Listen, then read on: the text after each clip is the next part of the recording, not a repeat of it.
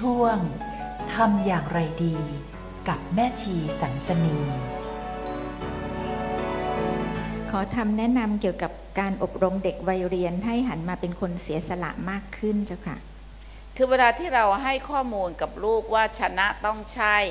ที่หนึ่งใช่แล้ว หรือความสำเร็จต้องได้มาจากการที่ได้พื้นที่ที่น้อยและเป็นพื้นที่ของเราเอง มันเปลี่ยนยากนะฮะแต่ถ้าเราบอกว่า ความสำเร็จก็คือความสุขที่เรา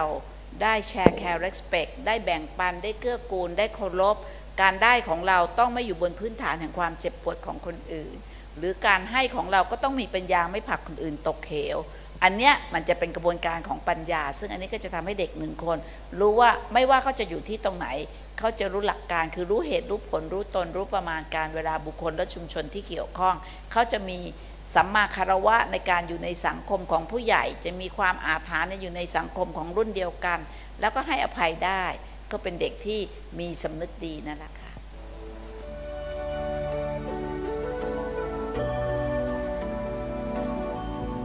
ธรรมะสวัสดีไลฟ์